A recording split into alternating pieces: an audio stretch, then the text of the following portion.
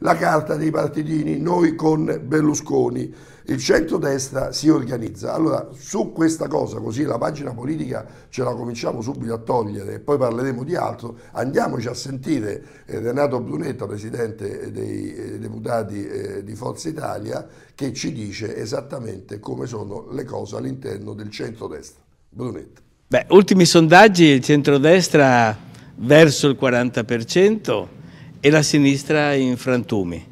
Eh, scende in pista Grasso, Presidente del Senato, e Renzi trema, eh, perché se Grasso va al 10% con la sua sinistra a sinistra del PD, eh, matematicamente Renzi va sotto il 20%.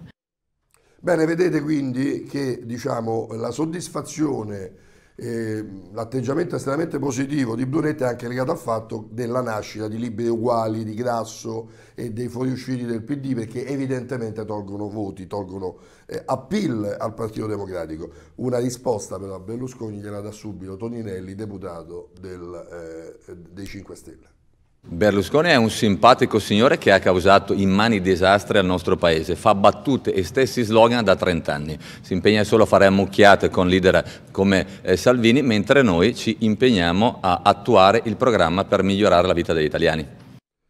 Vedete sempre sulla stampa, nel riguardatino, eh, c'è questa intervista a Guerini, che è uno dei vice segretari del PD, e che ci dice appunto nei collegi sarà sfida PD eh, Grillo, quindi c'è invece un atteggiamento, un atteggiamento più positivo, più ottimista da parte del PD. E vediamo cosa gli risponde Salvini, che ieri ha avuto una lunga, importante e divertente, direi anche, kermesse a Santi Apostoli a Roma. Andiamoci a sentire Salvini.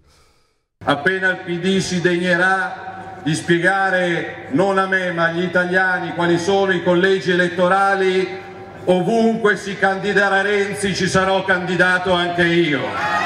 Piazza per piazza, strada per strada, città per città. Vita vera contro le bugie. Non vedo l'ora, magari di partire dalla sua Firenze.